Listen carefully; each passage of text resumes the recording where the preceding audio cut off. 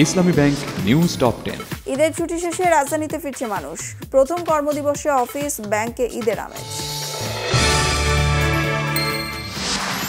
ঈদ যাত্রায় যানজটে জনদুর্ভোগের জন্য সড়কে ব্যবস্থাপনার সমন্বয়হীনতা দায়ী, বলেছেন ওবায়দুল কাদের।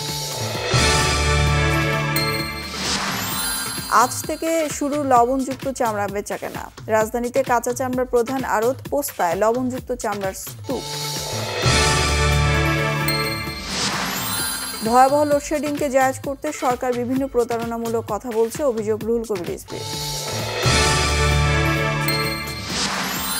যশোরে বেজপাড়ায় দুর্বৃত্তদের হামলায় যুবদল নেতা বদিরুজ্জামান নিহত। প্রতিবাদ ও শোক জানিয়েছেন মির্জা ফখরুল ইসলাম আলমগীর মূল্যস্ফীতি ও মুদ্রার বিনিময় হার নিয়ন্ত্রণ ও রিজার্ভ বাড়াতে কাজ করার প্রতিশ্রুতি বাংলাদেশ ব্যাংকের নতুন গভর্নর আব্দুর রৌফ তালুকদারের দেশে করোনা আক্রান্ত হয়ে আরও নয় জনের মৃত্যু, এর মধ্যে ঢাকা বিভাগে সাতজন।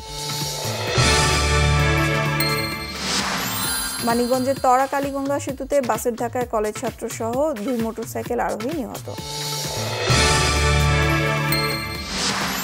সামরিক বিমানে মালদ্বীপ পালিয়েছেন সদ্য পদত্যাগী শ্রীলঙ্কার রাষ্ট্রপতি গোতাবায়া রাজাপাকসে।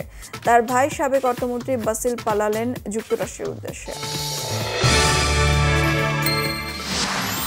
সিরিজ জয়ের হাতছানিতে আজ ওয়েস্ট ইন্ডিজের বিপক্ষে দ্বিতীয় ওয়ানডেতে লড়বে বাংলাদেশ।